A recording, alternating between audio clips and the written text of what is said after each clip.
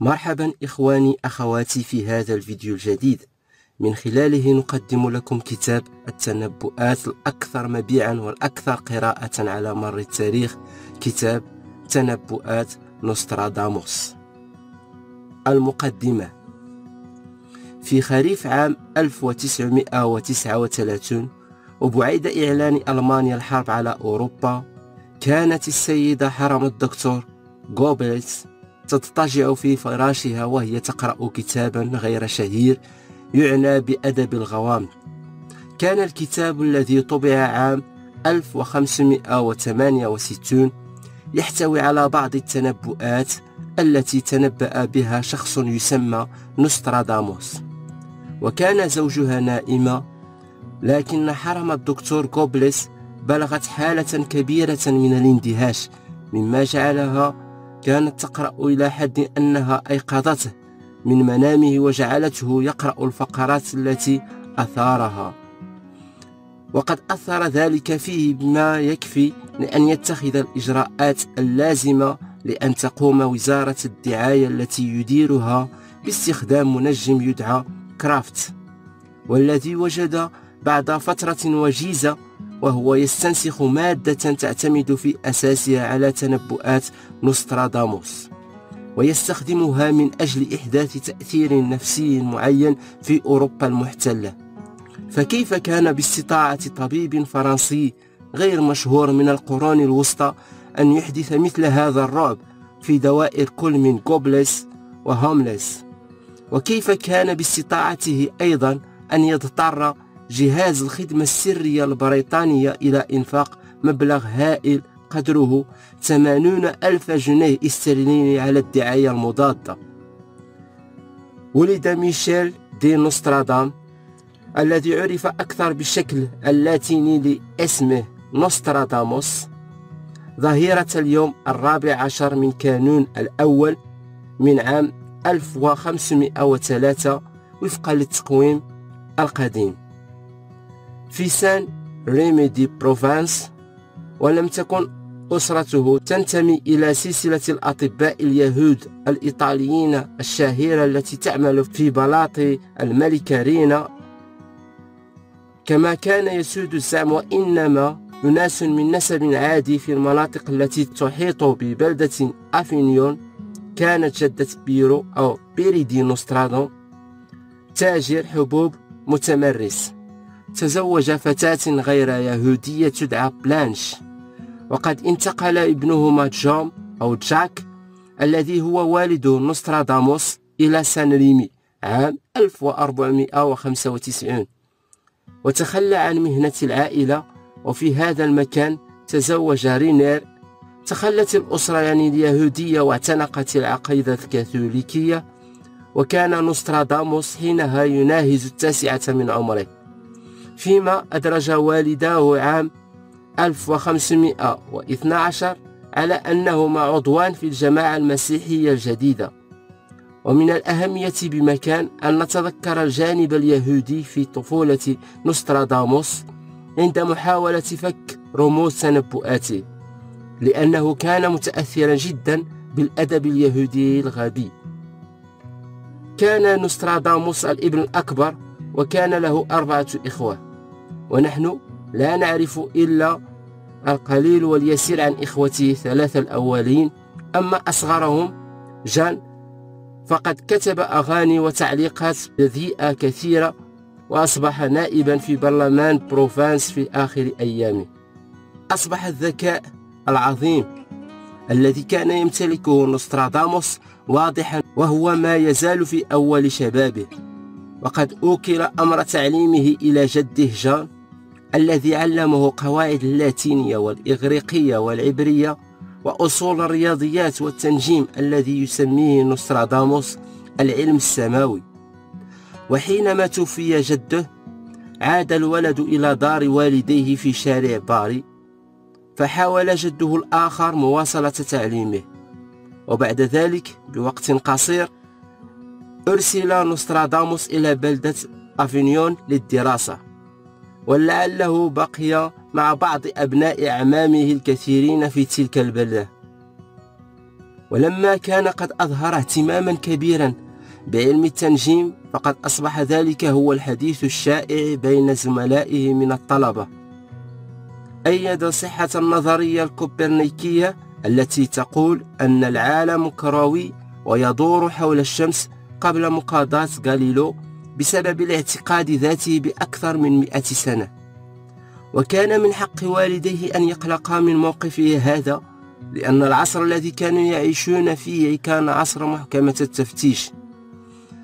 وبما أنهم كانوا يهودا في السابق فقد كان وضعهم أكثر ضعفا من أغلب الناس. ولذلك فقد أرسله والداه عام 1522 لدراسة الطب في مونبولييه كان نوستراداموس يبلغ التاسعة عشر من عمره آنذاك وقد أتيحت له فرصة الإفادة من أكثر العقول الطبية تقدما في أوروبا. نال درجة البكالوريوس بعد ثلاث سنوات بيسر واضح وبعد أن حصل على إجازة ممارسة مهنة الطب قرر أن يترك الجامعة ويخرج إلى الريف لمساعدة ضحايا الطاعون الكثيرة. كان الطاعون متوطنا في جنوب فرنسا في القرن السادس عشر. وبشكل خاص نوع خبيث من أنواع يعرف محليا باسم الطاعون الأسود.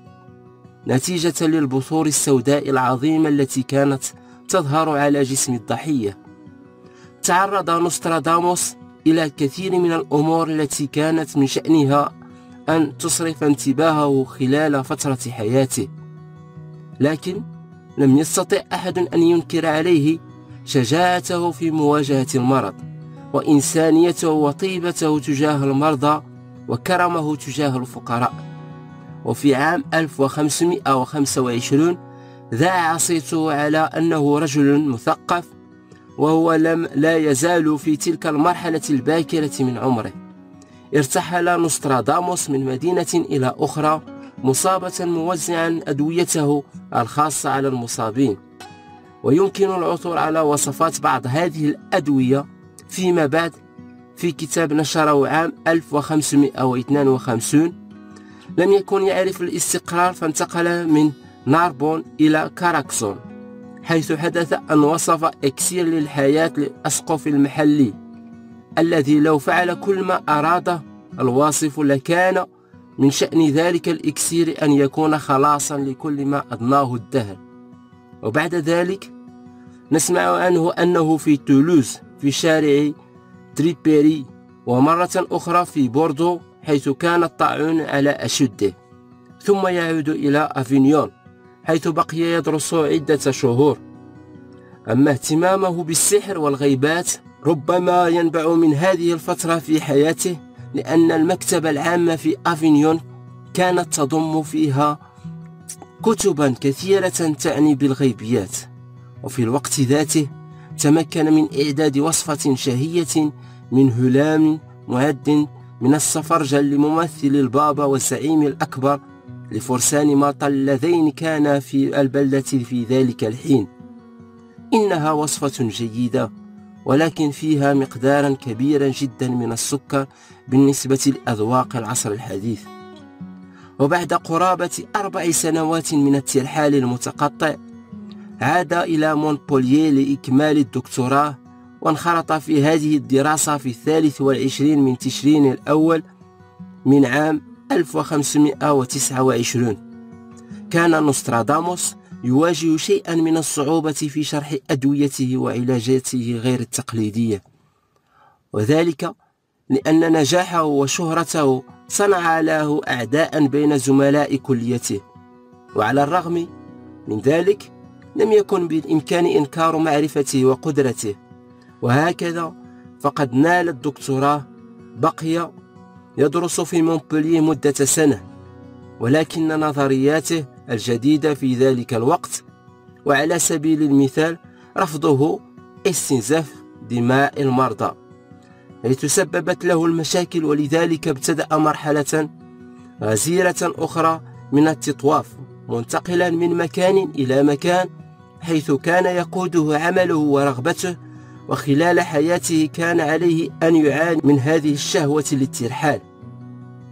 وحينما كان يرتدي قبعة العالم الداكنة الخاصة به ورداءه الجامعي فلا بد أنه كان يبدو مثالا مصغرا لليهود الهائم وفيما كان يمارس عمله في تولوز تسلم رسالة من جوليوس ويتضح أن رد نوستراداموس قد سر سكاليتش إلى الحد الذي جعله يدعوه للإقامة في بيته الخاص في آجن.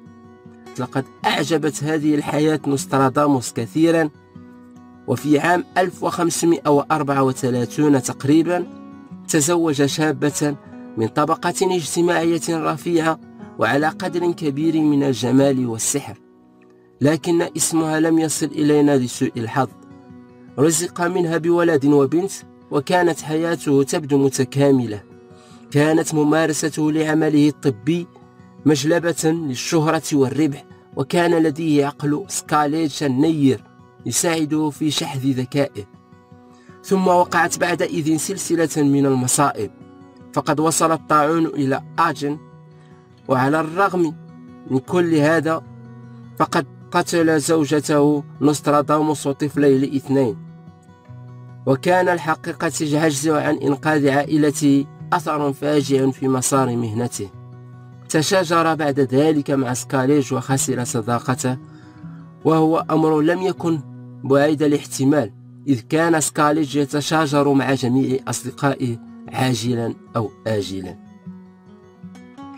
حاول أهل زوجته الراحلة مقاضاتهم من أجل إعادة مهرها وكانت القشة التي قسمت ظهره عام 1538 إذ اتهم بالهرطقة. لأنه حدث أن أبدى ملحوظة دون قصد قبل ذلك بسنين. وقد نقلت هذه الملحوظة إلى السلطات فقد علق نوستراداموس على عامل يقوم بصب تمثال برونزي للعذراء بأنه إنما كان يصنع الشياطين. وقد تجاهلت السلطات دعواه التي مفادها إنه إنما كان يصف ما يفتقر إليه التمثال من عنصر جمالي. وهكذا فقد أرسل أعضاء محكمة التفتيش إلى طلبه من أجل أن يذهب إلى تولوز.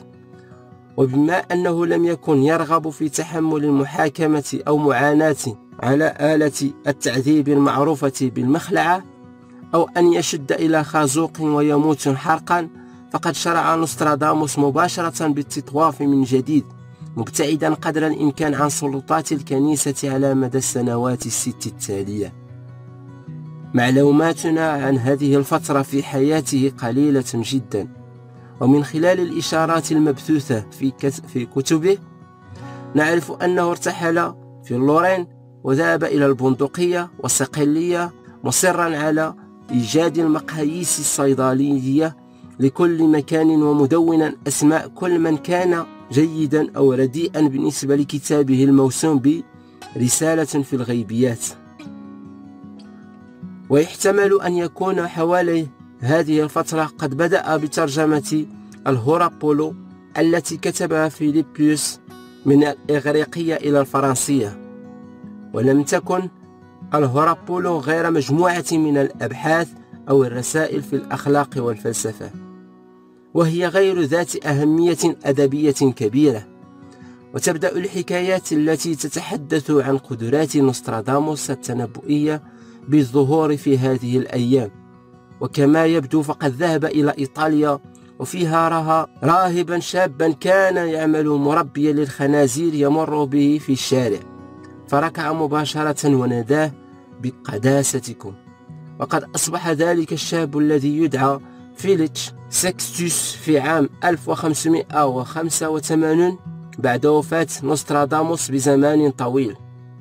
هناك حكايات مسلية أخرى تحكم عن أحد الأشخاص ويدعى السنيور دي فولورنفين إذ كان يناقش نوستراداموس بشأن النبوءة فسأله أن يختبر موهبته في أن يخبره عن مصير الخنزيرين الرضيعين الموجودين في فناء منزله. أجاب نوستراداموس بأن السنيور سيأكل الخنزير الأسود وسيأكل الأبيض وفي الحال توجه دي فلورينفيل إلى طباخه وأمره أن يذبح الخنزير الأبيض ويقدمه عشاء في تلك الليلة. وهذا ما حدث ولسوء الحظ فقد سرق اللحم جرو ذئب مدجن يعود لرجال السنيور فقام الطباخ المذعور بذبح الخنزير الأسود وتقديمه على العشاء. وعلى المائدة أخبر سينيور دي فلورينفيل نوستراداموس بأنهما كانا يأكلان الخنزير الأبيض. في تلك اللحظة وحينما أصر نوستراداموس على أنه إنما كان الخنزير الأسود أرسل في طلب الطباخ الذي اعترف بما جرى بالتفصيل. قرابة عام 1554 استقر نوستراداموس في مارسيليا. تعرضت بروفانس لأسوأ فيضان في تاريخها فقد تضاعفت شراسة الطاعون وانتشر بواسطة مياه الفيضان والجثث الملوثة. كان نوستراداموس يعمل دون توقف وقد هرب معظم الأطباء مع من كان قادرا على الحراك من الناس. وبهذا نقلوا العدوى إلى مسافة أبعد وطبقا لما ترويه المذكرات المعاصرة فقد كان الطاعون في أسوأ حالاته في مدينة إكس عاصمة إقليم بروفانس فأرسلت المدينة في طلب مساعدته في اليوم الأول من أيار كان نوستراداموس وحيدا خلال فترة الوباء يعمل وسط المرضى معالجا الكثير منهم وهو يلح على ضرورة توفر الهواء النقي والماء غير الملوث. وقد غمره إحساس عميق باليأس عند وصوله المدينة ورؤيته امرأة مريضة تخيط كفنها الخاص بيدها على نفسها وهي فيه لأنها كانت تعرف أنه لن يكون هناك من يخيطها عند موتها. وبعد أن استردت المدينة عافيتها انتقل نوستراداموس إلى بلدة صالون التي وجدها بلدة طيبة وقرر الاستقرار فيها بقية حياته.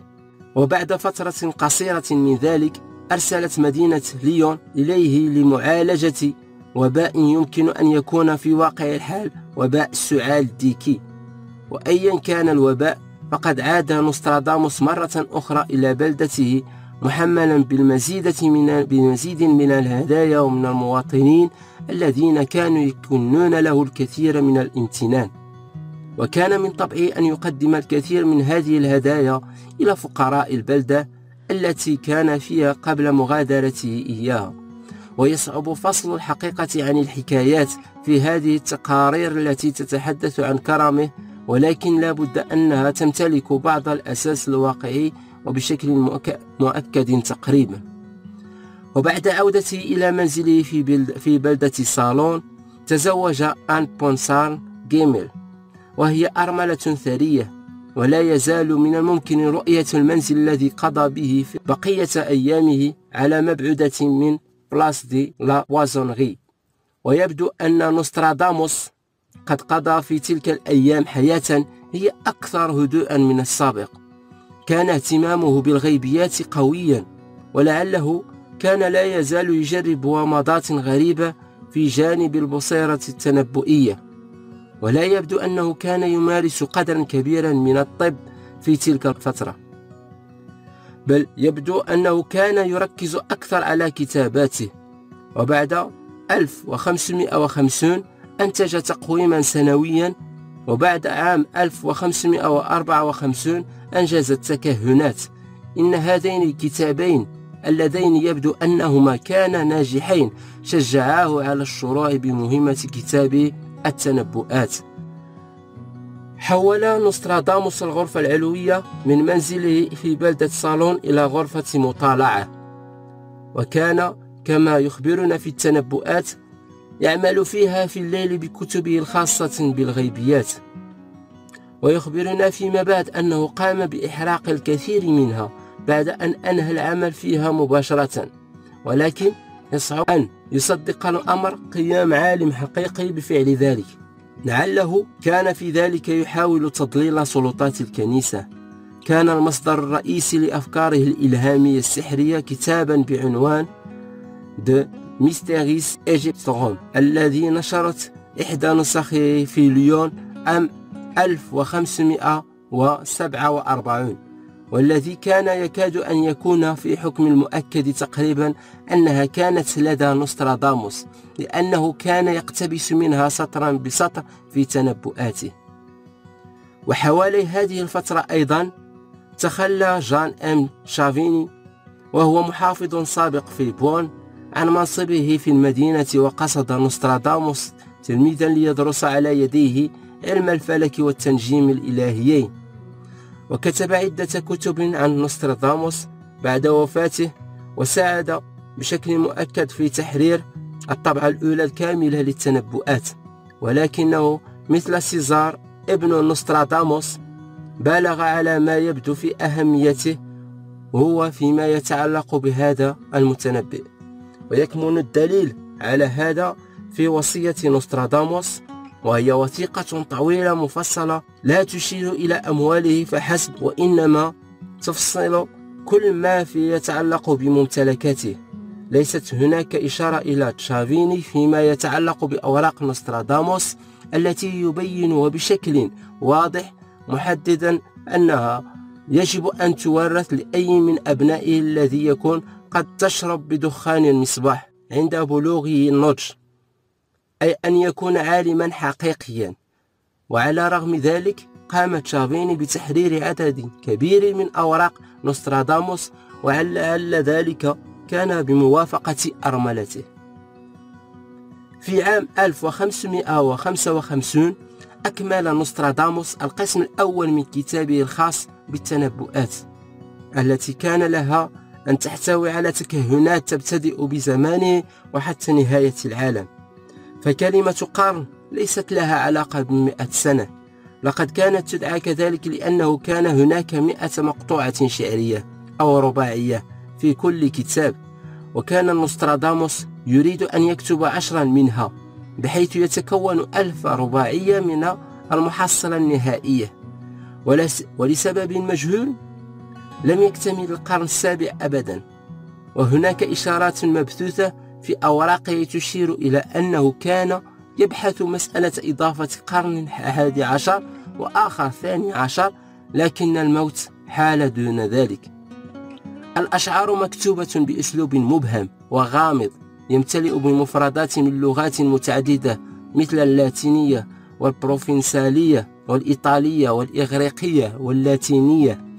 ويكتب نوستراداموس أنه من أجل أن يتجنب مقاضاته على أنه ساحر فقد قام عن قصد بخلق حالة من الإرباك في تسلسل التنبؤات فلا تنكشف أسراره للناس العاديين. ومن الأمور غير الاعتيادية أن تنتشر شهرة نوستراداموس بهذه السرعة في طول فرنسا وعرضها وفي أوروبا بفعل قوة التنبؤات التي نشرت بشكلها غير الكامل. عام 1555 تضمن الكتاب القرون الثلاثة الأولى وجزء من القرن الرابع. في ذلك الزمان كانت الكتب طرفا مكلفا ولم يكن يملكها ويقرأها عادة إلا الأغنياء لأن معظم الناس كانوا من الأميين. وقد أصبحت تنبؤات البدعة السائرة التي يقبل عليها جميع في البلاط. وكان يبدو أن واحدة أو اثنتين منها تشير شيئا من عدم الارتياح في البلدان الأخرى. وبخاصة تلك النبوءة التي ظهر أنها أنبأت بموت الملك. ومهما تكن حقيقة الأمر فقد أرسلت الملكة كاترين في طلب نوستراداموس لكي يحضر إلى البلاط. فبدأ رحلته متوجها إلى باريس في اليوم الرابع عشر من شهر تموز من عام 1556 لم تستغرق الرحلة أكثر من شهر واحد بدلا من الأسابيع الثمانية المعهودة لأن الملكة أرسلت له خيلا تنقله. وفي الخامس عشر من آب حجز نوستراداموس غرفة في فندق القديس ميشيل قرب كنيسة نوتردام. ولا بد أن الملكة كانت متلهفة لرؤيته ولذلك فقد أرسلت في طلبه في اليوم التالي. فرافقه كبير الموظفين إلى بلاط سان جيرمان وليس باستطاعة المرء سوى أن يتمنى لو كان هنالك شاهد يسجل اجتماعهما. تحدث نوستراداموس والملكة ساعتين كاملتين ويعتقد أنها سألته عن الرباعية الخاصة بموت الملك وأنها كانت راضية عن جواب نوستراداموس ومن المؤكد أنها بقيت تؤمن بتنبؤات نوستراداموس حتى وافتها المنية.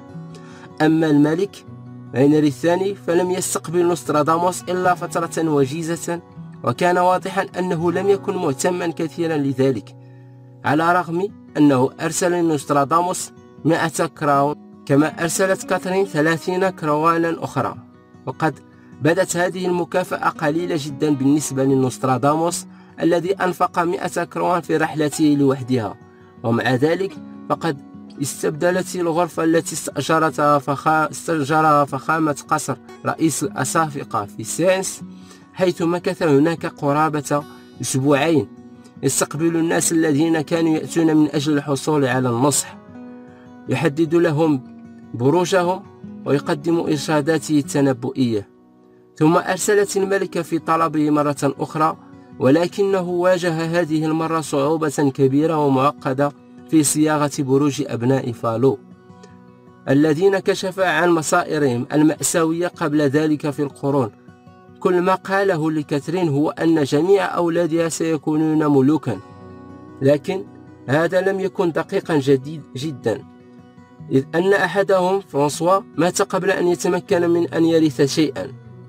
ولو قال أنه يرى قدوم أربعة ملوك لكان تنبؤه دقيقا لأن هنري الثالث كان ملكا على بولندا قبل أن يرجع ويصبح ملكا على فرنسا. وبعد ذلك بوقت قصير حذر نوستراداموس من أن قضاة باريس كانوا يجرون تحقيقا في أعماله السحرية. فعاد مسرعا إلى صالون وقد رحب به الأهالي كشخص ذو أهمية كبرى.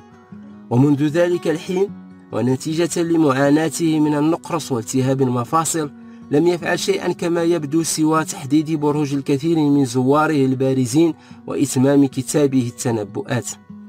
والواضح أنه سمح بتداول نسخ مخطوطة قليلة من كتابه قبل طبعها لأن الكثير من التنبؤات فهمت واقتبست قبل أن يخرج الكتاب كاملا من المطبعة.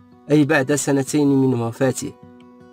ولعل السبب الذي دفعه إلى هذا التحفظ هو وفاة الملك عام 1559 فلقد تنبأ بها نوستراداموس.